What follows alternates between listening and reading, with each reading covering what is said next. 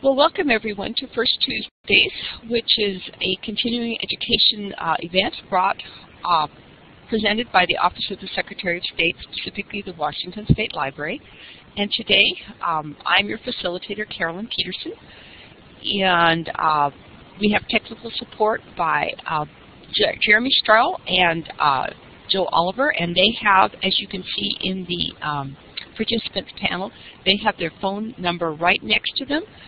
And so if you uh, have any technical difficulties during the program, if you can also email them or you can just call them directly and they're very familiar with how to get you back onto the Blackboard system.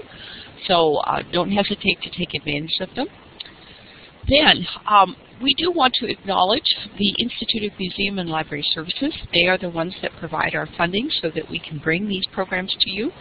So um, we get our funding, of course, from the federal government via the Museum of uh, Institute of Museum and Library Services, and of course we are part of the Office of the Secretary of State here at Washington State. So um, already I can see that uh, he has taken care of uh, this, and I think we know where Diane is from. And uh, we welcome Janet. I'm glad you were able to join us to hear this about tips and tricks for Overdrive. And then we ask that you stay around for like, literally it's a 30 second survey at the very end. We're trying to uh, fulfill the requirements from the uh, Institute of Museum and Library Services that we do an outcomes-based survey, which is like, I say, 30 seconds worth of questions at the very end. So we would hope you would take our survey at the end. So, okay, well, now I want to introduce Will Stuivenga. And Will has been a member of the library development team since 2004. And his primary job is to manage cooperative purchasing contracts with vendors. And he manages the Overdrive contact contract, which we call the Washington Anytime Library here. He also manages a contract, a statewide contract with recorded books, and a major statewide contract with ProQuest uh, which does our databases, our research databases for the state of Washington. And in addition, Will is an avid reader himself who reads in whatever format is the most convenient and usually has two to three books ongoing at one time. So a man ably suited to do this presentation because he wants to read what he wants to read when he wants to read it. So Will, with no further ado, I'm going to turn the uh, presentation over to you. Thank you, Carolyn. Um, Jeremy, should I be hearing an echo of myself? Uh, it might be because you have the second computer loaded up. Hmm. That's unfortunate. Did well, you, let's see if I can deal with it. Do you have both accounts on the same computer? Yes. Yeah, then that's definitely what it is. Um, you, are going to need a second computer if you want to be able to view it. I do have a laptop over here. Uh, apologies, folks. Um, I have a laptop over here I can bring over there real quickly. That might help. All right, give me a moment.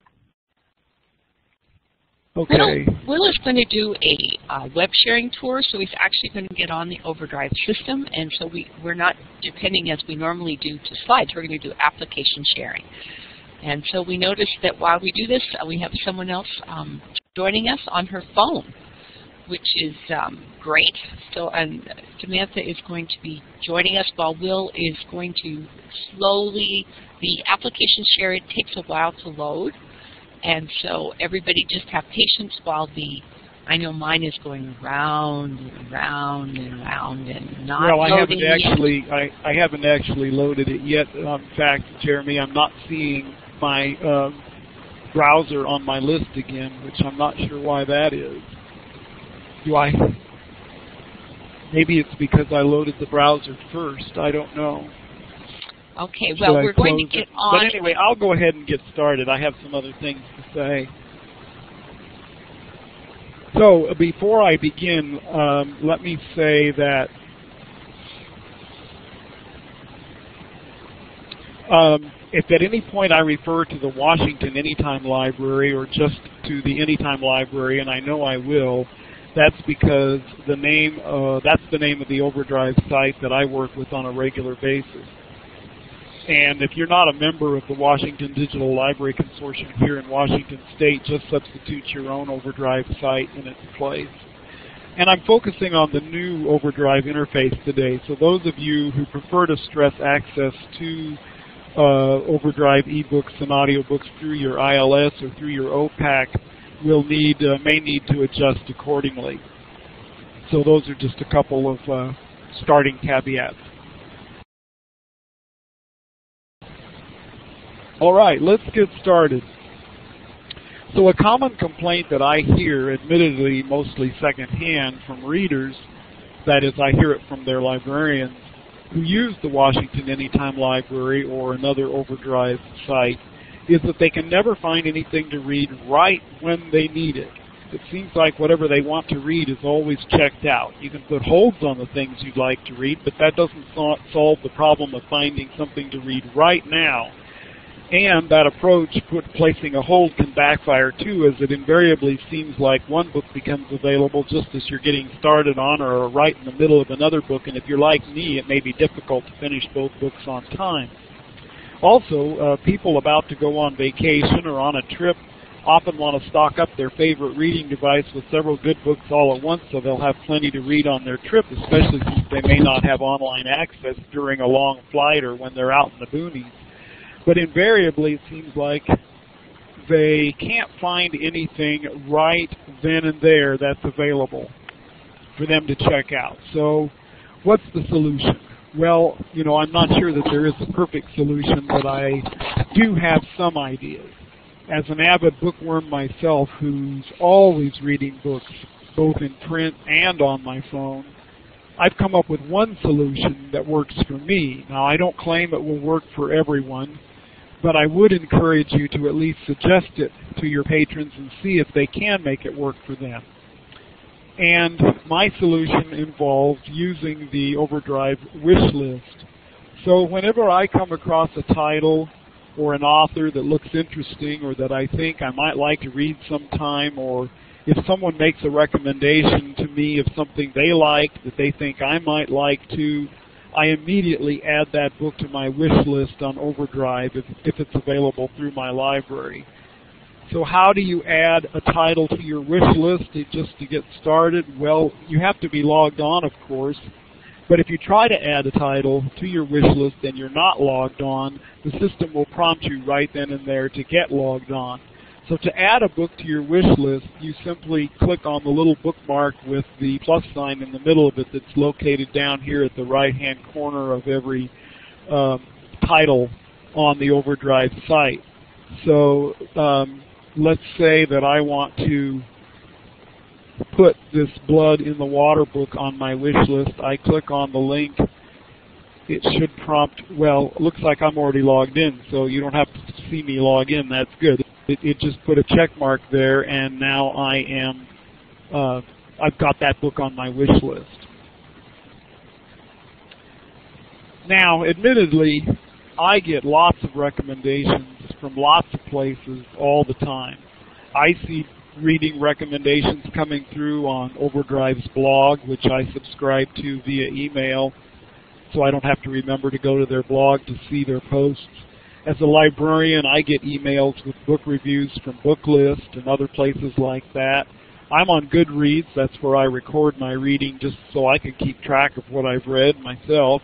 And I get recommendations there too. And, you know, and just like uh, most people, I hear books, I hear about books that sound interesting. They're mentioned on NPR or on other TV or radio shows or, or even perhaps more frequently, an author that I've read before comes out with a new book and I uh, am aware of it from some source or other, or I'm just browsing around in the Anytime library for some other reason and I spot something that looks interesting. Any of those things are immediate opportunities for me to add titles to my wish list. So all of those kinds of sources and activities contribute to my wish list, and I'm always adding more stuff to it. Consequently, there's always way more on my wish list than I can possibly get around to reading right away, if ever. And for me, that's a good thing. So whenever I do need something to read, I can log into my wish list. So let me do that here under my account. I'll find the wish list. I click on it. And there's the book I just added. all the books that are available to me say borrow on them. Here are some that aren't currently available, so they show place a hold. But right here at the top, sorry if I make you dizzy with my scrolling, um, I can click on available now and limit just to looking at the things in my wish list that are available now. And you'll notice that I have 92 items currently available to me to check out in my wish list. How many did I have all told? 200. that's kind of ridiculous, but that's the you know that that that's the way it works for me because I keep on adding stuff all the time that I think I might like to read someday. I almost never put holds on anything, um, but re rely almost exclusively instead on my wish list. That's because, as I mentioned before, to me, things always come available from my holds list at the most inopportune times when I'm not really ready to read that book or don't need that book. Now, I'll admit, there is one big flaw to this approach, this wish list approach. I may never get to read that hot new bestseller because it may be a long time before it ever shows up in my wish list as available. Um, and, and so if I'm more interested in reading a specific title and I really want to read that book, then um, and and for people who are more interested in specific titles than they are in just finding something good to read, they may not find this approach very satisfactory. For me, as long as I have something interesting to read, well, I'm a happy camper. And if I get around to reading that bestseller a year or two from now, that's probably fine with me. But um, if you really do want that that particular book, you're going to have to go ahead and put a hold on it and wait your turn. Another a minor annoyance with the wish list is that it doesn't remove items automatically once you check them out. You have to remember to remove them yourself manually. So it's a good idea when you check out a book from your wish list to immediately remove it from the wish list right then and there before you forget. So before I go any further, are there any questions about using the wish list? Or are there any comments or suggestions or any other ideas or, that people have specifically about the wish list? Anybody else's experiences? Um, I this is Carolyn, and I do think that's a good idea. I know I do something of the same thing. I've, I've adapted that to, um, I do something of that in my own uh, library as well. But is there something that, are you going to address how libraries, um, you know, this works really well for people like us who are avid readers and get our, our titles and our lists from, you know, know what we want to read and are constantly on the uh, lookout. But what about the people who literally their idea is to look at the New York Times bestseller list, go in and look for that. Is there a way that libraries can, can proactively be ready for these people who don't have this sort of backup of, of you know, organized organization? Are you going to talk about that a little later? Well, what I'm going to talk about next is uh, the other big drawback to the wish list approach as I've already mentioned, is it doesn't help your, well, even somebody who thinks they'd like to try the wish list approach, it's not going to help them right now today if they've never used their wish list because they don't have anything on their wish list yet. It's going to take them a while to build up a good wish list and to have a backlog of things they're interested in reading marked. So um, you do need something to be able to help people right away. And the main other focus of my talk this morning is to just point out the features of the Overdrive site that are designed to help people find things to read right now today if they don't have anything on their wish list. What else can you offer to help people get going? Um, in terms of uh, what you asked, Carolyn, I think I'll get to that a little bit at one point at least when I talk about um, curated lists and lists that uh, individual libraries can create on their websites for their patrons, which is part of the, the interface itself. So what else can you do to help people get started right now? find something to read. And I'm going to just go back to the main Anytime library. Will, we have a couple of, yes. questions oh, okay. uh, before you go forward. Sure.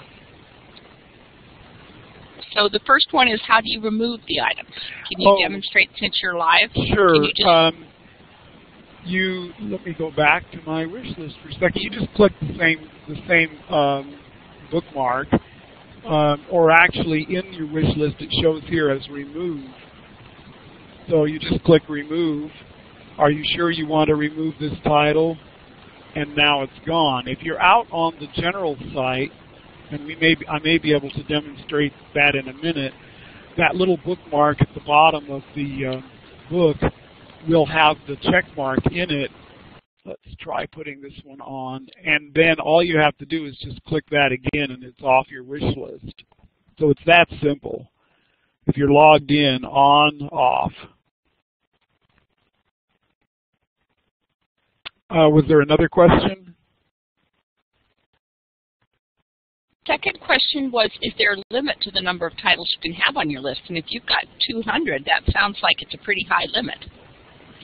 Yeah, I'm not aware of a limit, and I've never uh, encountered even a place to set a limit. So I don't think there is a limit on how many titles you can have on your wish list. Um, I mean, I don't know. I suppose there might be, but like I say, like you say, at 200, I haven't hit it, so I don't think there's any practical limit anyway.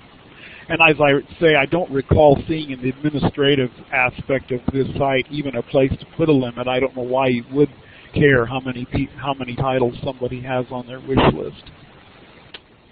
Okay, thanks. All right, so uh, the biggest feature I think that's important to be aware of is, at least on our site, and I, you know, other people, other libraries may have their sites set differently, but excuse me, um, we've set all of the featured lists that show up on the site by default or that people can look at to uh, initially show just the available titles. So right here at the top of the Anytime library is a featured collection called You May Have Missed These.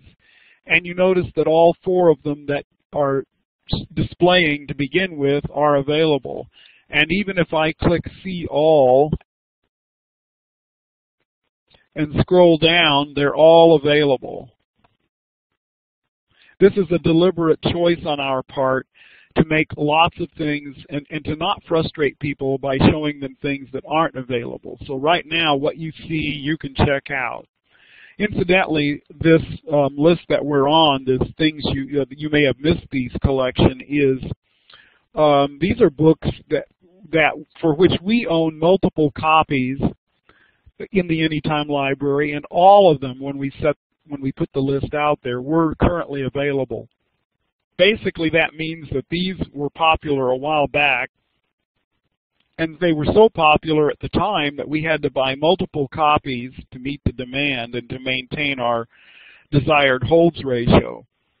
But now, no one is reading these particular books very much anymore, and there are several copies available for checkout when we set up this list for the adult, uh, the, the, main site, we uh, had at least four copies of every single one of these titles that were available. So if, even if someone checks one out, there's still three more available.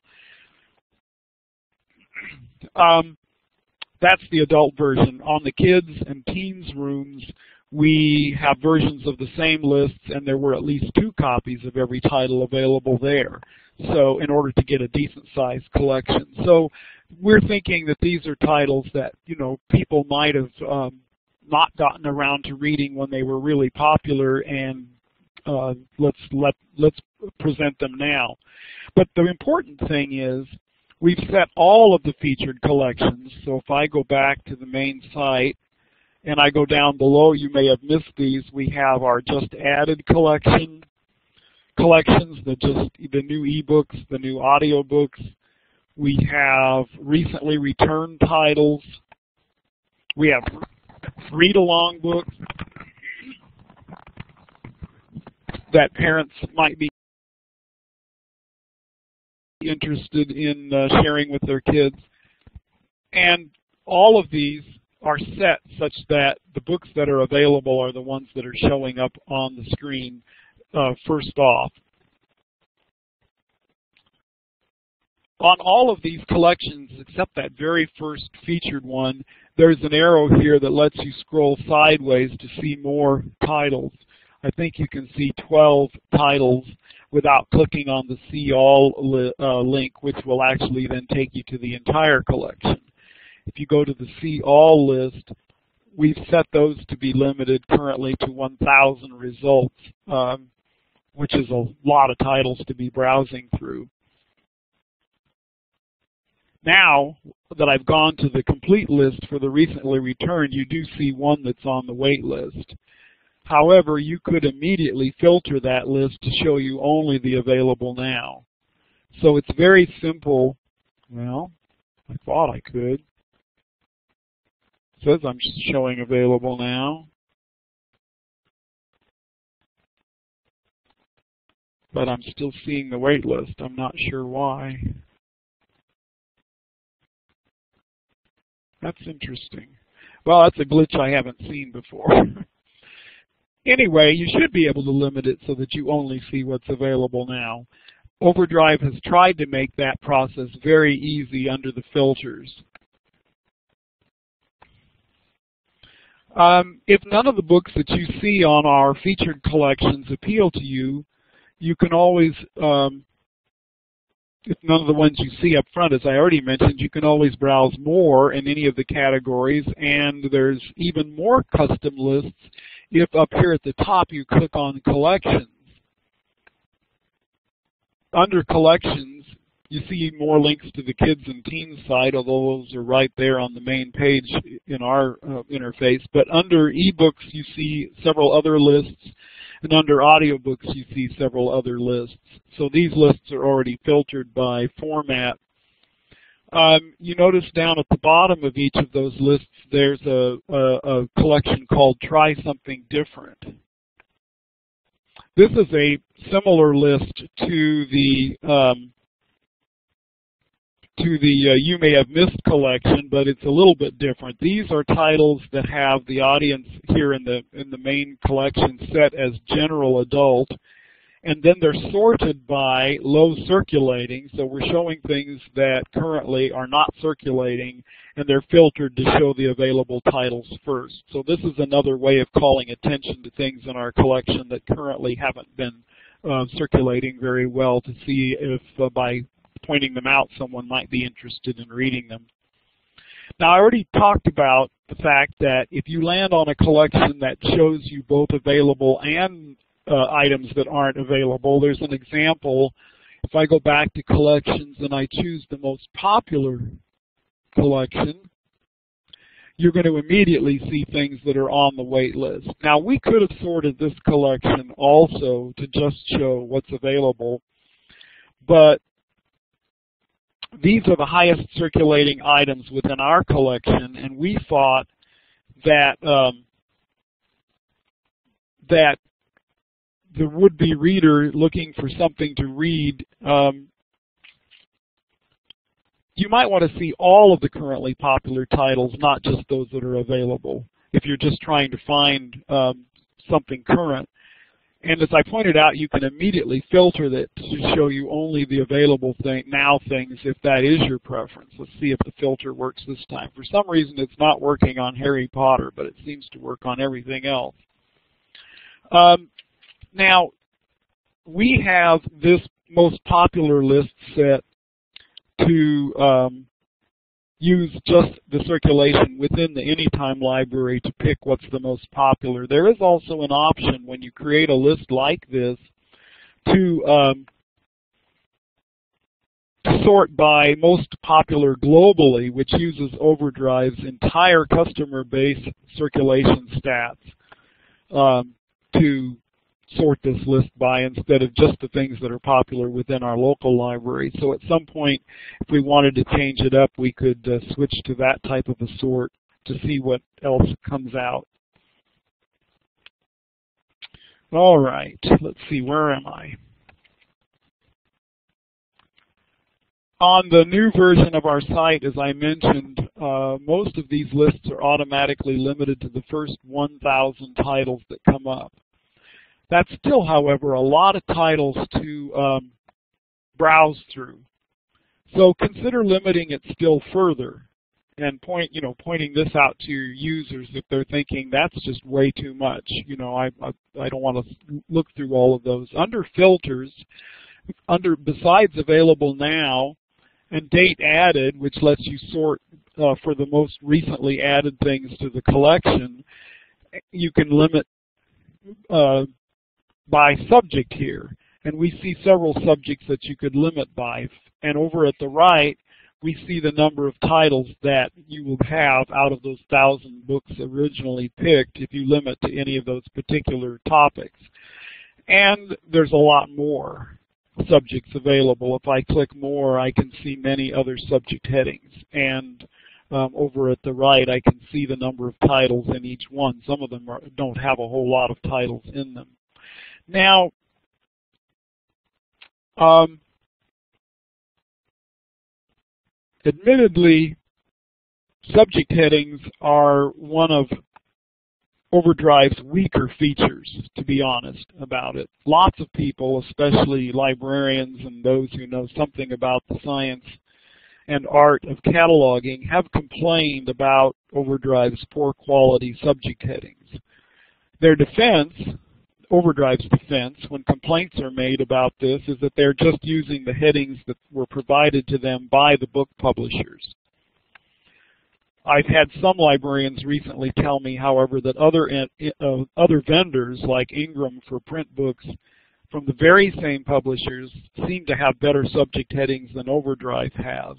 And we could argue that um, Overdrive owes it to its market, which is libraries, to enhance their subject headings to make them a little better. But nevertheless, regardless of how good or bad the subject analysis is, it can be a place to start or a way to focus your browsing onto something that you think might be more interesting to you to read or to your patrons to read. And I want to point out something funny about um, sorting uh, by format. If I go back, let's see, I'm going to start over for a second and then I'm going to go back to that most popular collection.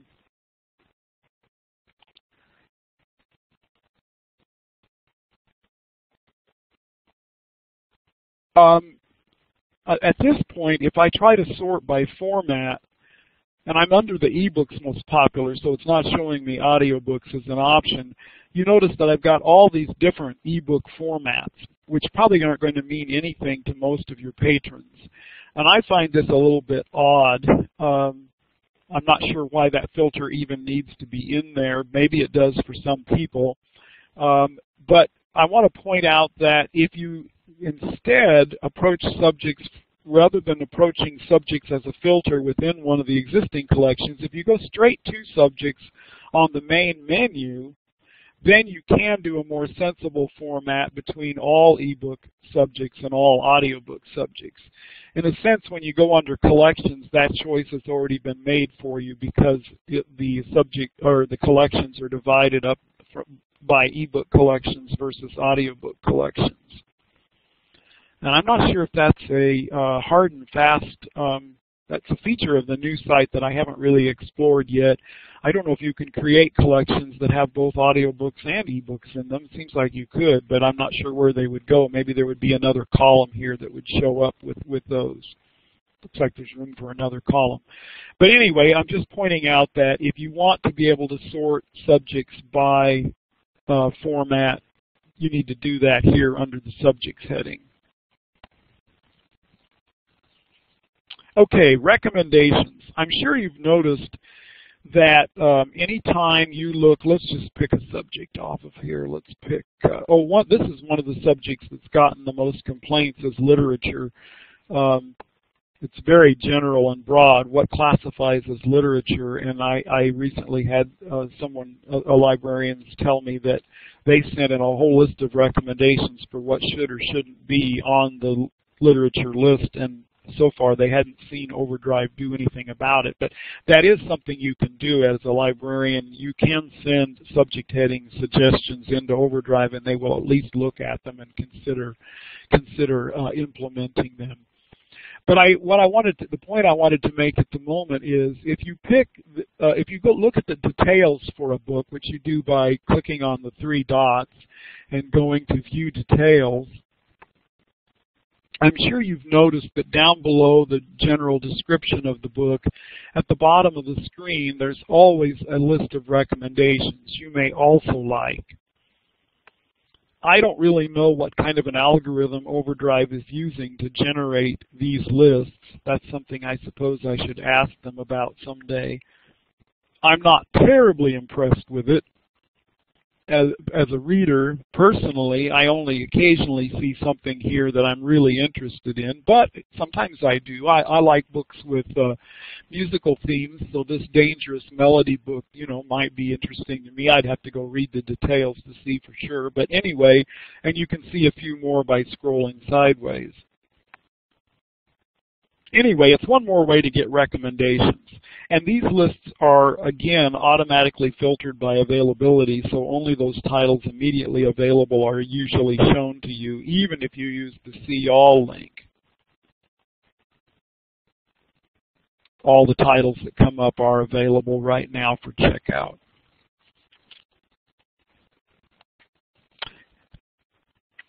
Now, a caveat. Even with all of these features, that are designed to help the would-be reader find something to read right now, something that's available when the individual needs it or wants it. The fact still remains that if there is a popular book that you really, really want to read, you're probably going to have to put a hold on it and wait your turn and be prepared to take that book when it becomes available. There's just no getting around that. And um, most libraries, like the Anytime Library, just don't have enough money to buy enough copies so that the book can be immediately available to everyone. We have uh, our holds ratio currently set higher than we'd like. It's set at 7 to 1, which means anytime there's more than 7 holds, we buy another cop on every copy, we buy another copy. Some libraries use a 5 to 1 holds ratio. Overdrive, of course, recommends a 3 to 4 to one holds ratio, but I don't know very many libraries that can afford that. So are there any other questions at this point? I don't know for sure if I'll be able to answer them, but um, I'll try, and if need be, I'll research the, uh, the answers and send them out later. Carolyn, have you seen any other questions pop up so far? Um, so how um, do we have any okay. any does Overdrive have any feedback about how um, effective? I mean, there seems to be a lot of things on the site. Um, so do they have any idea about how many people uh, this works for? Has there been any research? That's an ex that's an excellent question, and in fact, I, that's one of the things I, I asked Overdrive as we were getting ready to launch the new website. I said, you know, okay, so we build these lists. Can we get statistics on how many people are clicking through from these from these you know customized lists that we put up to uh, help people, or can you tell us how many people are clicking through from you know the recently returned list or the uh, just added lists or or even these recommendations that you have at the bottom of a, of any given title, and they said, uh, not really at the moment. That's maybe something we can add in the future. And I, if I were a better expert at using something like Google Analytics, I don't know if that would help me figure it out or not either, because these are all uh, such dynamic kinds of lists. You know, as people check things out, other things become available on the list. I, I, I and I just don't know enough about those types of free um, analytic ser services to know if it would, uh, if we could figure it out from that or not. So frankly, they do not have very good data on that sort of thing at this point. And I've had skeptics within my own um, consortium as to whether it's really worth the trouble of putting these lists up. But I think it's better to have them than to not have them. At least there are, you know, Well, we're we're doing our best to try to make things available. well, I, I I agree. I think that there needs to be something, but I was just wondering if it was working. Yeah, it's hard to know. Now, you know, one thing that I have done, but but it takes quite a bit of time, um, and I try to do it at least once in a while. Is um, when we first put up a new list, I'll go through and see uh, how many titles are in the in the list, how many of them are available, how many are checked out, and then I'll try to go back and check it again, uh, you know, a week or two or three later, and, and or a month later when we're ready to replace it and see, you know. But but that I just have to do it manually. I have to literally go in and look at each um, list and see. I can show you how that's how that's done. It's really pretty simple. Um, if I click on the See All, it shows me that I have 152 uh, books in this particular collection, and if I filter it by available now, it shows me that there are 63. So of the may you, may have missed these, of the 152 in books in the collection, um, all but 63 of them, that's more than half, are checked out. And since there were multiple copies, up to four copies of each of these books, and some had seven, eight, ten copies available, that would indicate that there's been quite a bit of traffic on this particular uh, list. I, that's better than I expected, to be honest. But that's how you can tell. You can go to each of your lists and, and do that same thing, you know, and just very quickly get the numbers on how many your titles are in the list and how many of them are checked out versus how many of them are available. Um, I'd also like to ask if um, any of you who've been listening today have any other suggestions, any other tips or tricks that you'd be willing to share, anything that's worked for you in helping uh, patrons find things to read right now or, or things that you've done yourself in your own personal reading.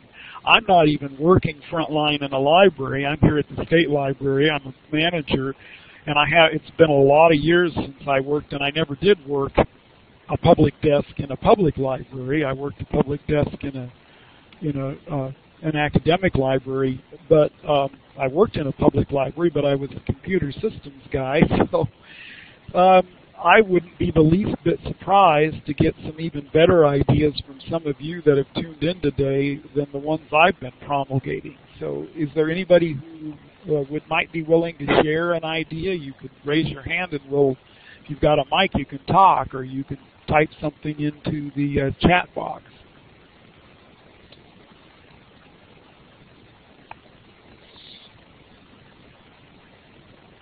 Well, I just admit that while we are giving people a moment, I also use the wish list. That I have found that to be the best way for me because I have spent before a trip, I have spent up to three to four hours trying to load enough content onto my device to sustain me through a a period of time. I'm a voracious, fast reader, and when I'm on vacation, I can go through three books on a six-hour. You know, if you do download three cozies, and the cozy takes you two hours to read, cozy mystery, uh, and you have a six-hour plane trip. There's three books right there. So, um, you know, and so that this ability, I'm going on a two-hour, uh, two-week trip coming up soon, and you know, given the weight of books, my husband is very interested in having me find things to load on my device as opposed to uh, put in our luggage and have us weighed down. So the wish list has worked for me. Anyone else? I don't see anybody typing. I Uh, will comment that I will comment that Carolyn is one of the fastest readers I've ever met, and I think I'm a fast reader, but nothing compared to her. yeah. Okay, well, we do have, uh, Colleen has a question. She says, can you fil filter out romances from the? Good question. Um, Let's see if we fiction. can, because I'm not, I don't know the answer to that right off the top of my head. So uh, we want to filter romances out of historical fiction. Um, do we have a probably have to do an if I just go to historical fiction, um, I don't think there's any way at this point to further filter. Oh, yeah, because if Right. you look at the first and I've got that come up are all romances. 3,567 results. Now, um, I could filter by another topic. Um, for example, I could filter by mystery, but I don't necessarily want mystery. So, um, there is. You have to click on the little magnifying glass to even get the search box, and once you get the search box, you can go to advanced but I don't remember if there is a um, uh, a not feature in here. So once again, I could pick historical fiction, but I don't think there's any way to exclude a subject. Maybe there is, but that's a good that's a good point. If I will attempt to research that further. I will, um, if you put your email address in the chat window, and I get anybody can put their email address in if, if more than the person who asked the question would like an answer, and I will send out what I find. I, I might have to ask somebody at Overdrive about that because there might be a way to do it, and I'm just not aware of it. Yeah, because I was going to say, I totally get that. Because, I mean, those were all romances, really not historical fiction. They really, I mean, uh, that is a very, it's an excellent right. example I mean, of how you know, it, poorly it's, just is. a romance set, and it's set in a historical period, and so it gets that both subject headings assigned to it. Yeah, but it really is a romance. We'll So I- we'll again, look into it, and, and again, anybody who would like to see whatever answer I find out, even if it is no, there's no way to do that. Uh, just put your email in chat, and I will send any answers to questions I get to all the emails that we got through the chat window. Okay. Any other questions? Did anybody want to come up with another tip or trick or um, suggestion for searching?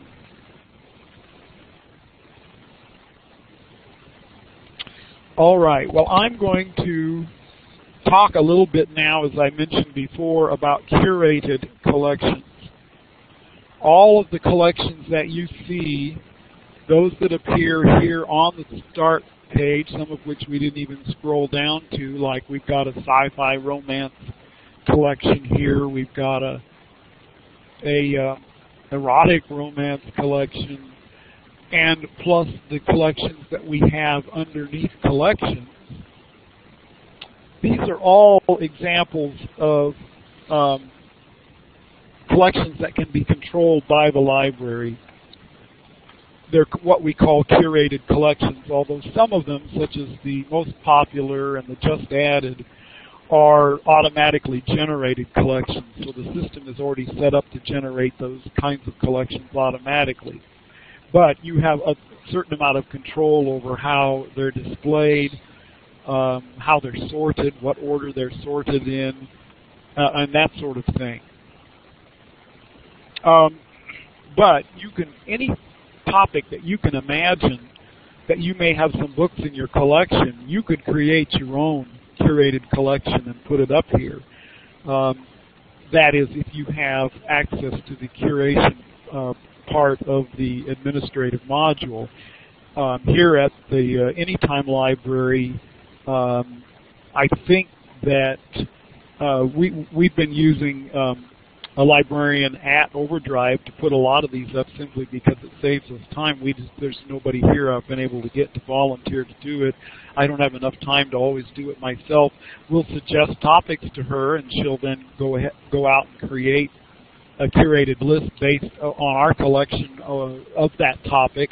Or if we like, she'll actually just you know make up the topics herself or use existing topics that Overdrive has. And in fact, in the Overdrive marketplace, um, they have a large number. I think I've got a screen up here of uh, topics already available to you, lists.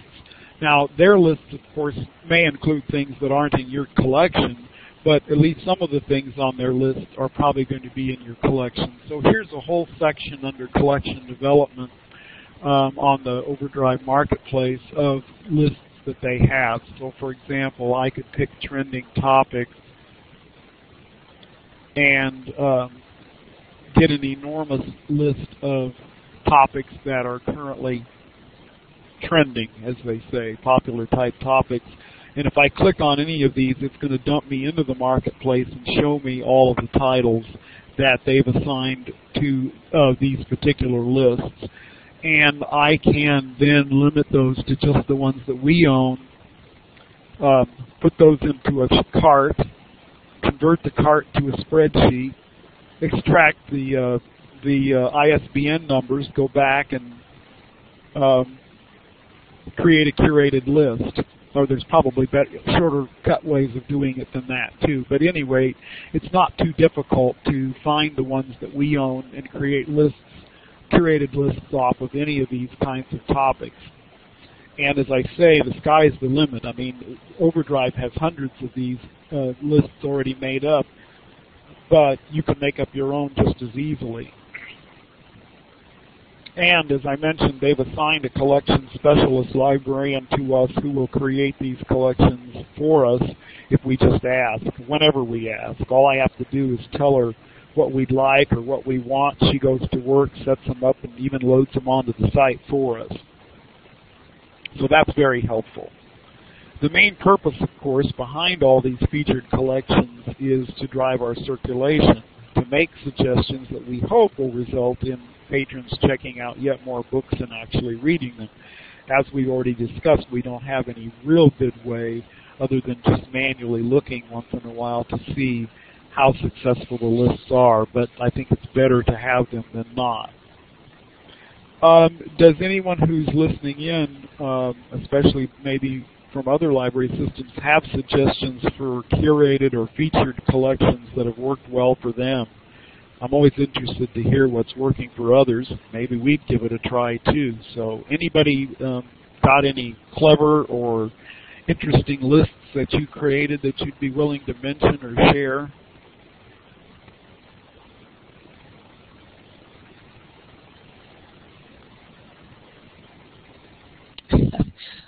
I think it's interesting that they put adult coloring books on a I guess they printing a lot, but I'm like, really? on a digital thing? That that seems a little weird, but it is a trend. Well, I will say at home, you know, my wife bought one of these adult coloring books, and rather than color directly in the book, I went to my printer and made a printed off a copy, and I colored that. so, I guess you know, print you can print the coloring pages off these books and then color them. Uh, I just seems kind of strange, but anyway. Well, these are I I think these are some great ideas if people didn't know about them. This is a good place. Anybody any other suggestions? I'm not seeing any in chat, so. All right, I'm going to go back to the Overdrive Marketplace for a moment, and um, I want to take this opportunity in the little bit of time we have left to point out some other features that are available for assisting your patrons and helping them make their Overdrive experience better. To do these things, you do need an Overdrive Marketplace account, but every library has at least one or more staff person, even within our consortium, that has the necessary access. For the Washington Digital Library Consortium, I'm the person who can add or delete Marketplace accounts and you would need the permission of your library director or of the person at your library who manages Overdrive uh, for me to uh, set you up with an account. Uh, in fact, I normally expect requests for new user accounts to come from one of those official people at your library.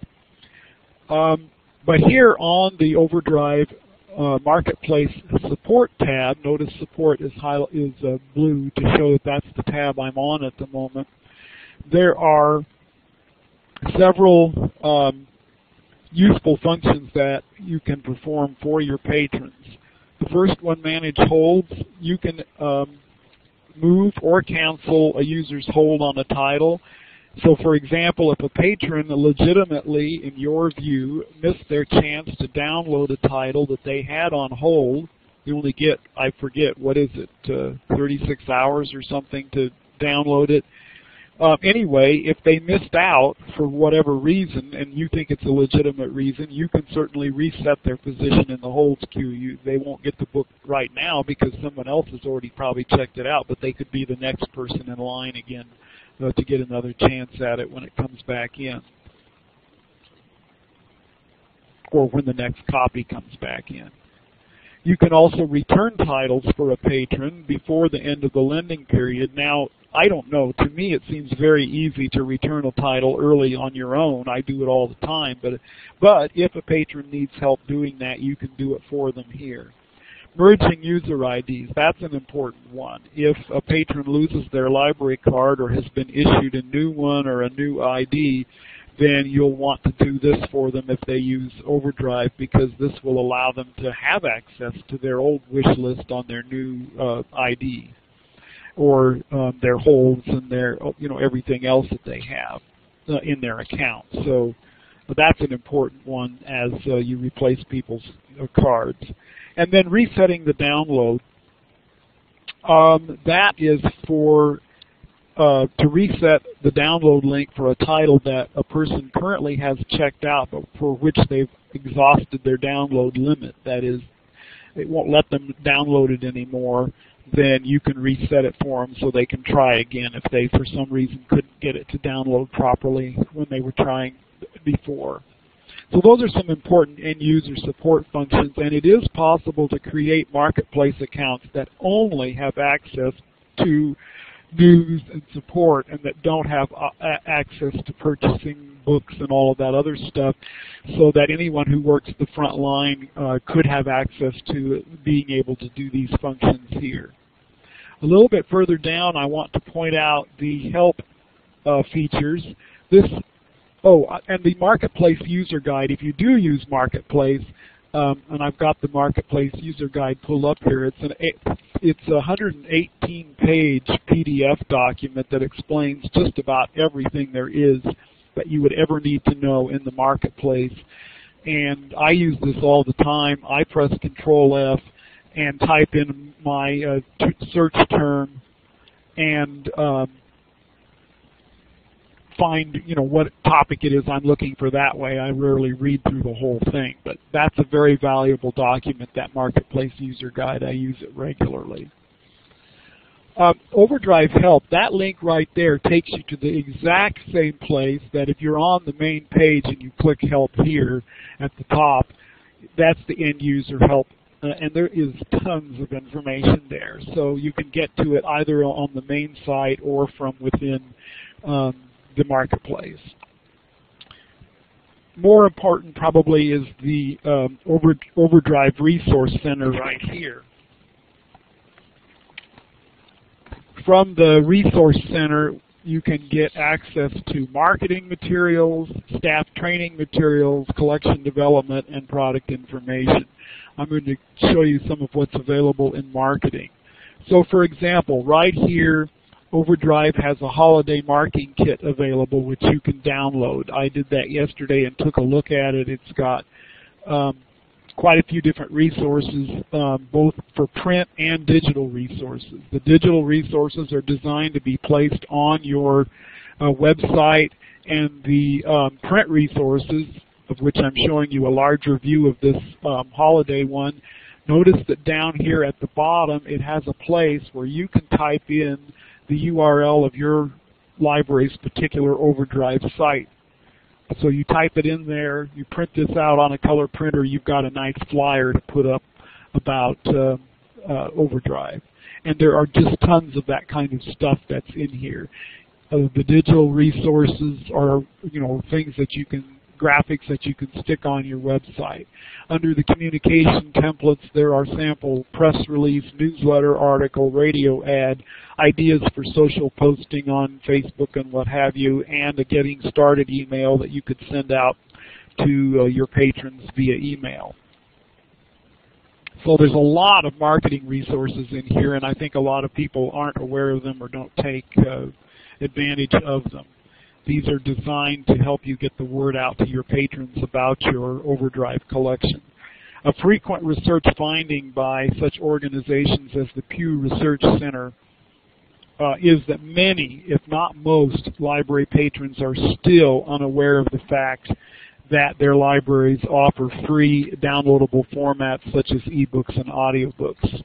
The late, latest study I saw, dated September of this year, reports that only 44% of those 16 and older say that their public libraries loan out ebooks whereas we know that over 90%, probably closer to 95 or 98% of public libraries do offer that service. Um, I see that I'm about to run out of time. I just want to show one more quick thing, and that is uh, the uh, support staff training information. There are lots of little videos for your staff to be trained a demonstration of the new Overdrive website right here, 28 minutes. If you don't have 28 minutes, download the PDF and just read the key points really quickly. They have PDFs available for most of the um, uh, support videos that they have. So here are some on the app, and then other reading option, options, read, listen, Kindle, and finally um, screen readers in Overdrive, how it is accessible to blind and visually impaired users. And um, live webcasts coming up are listed here.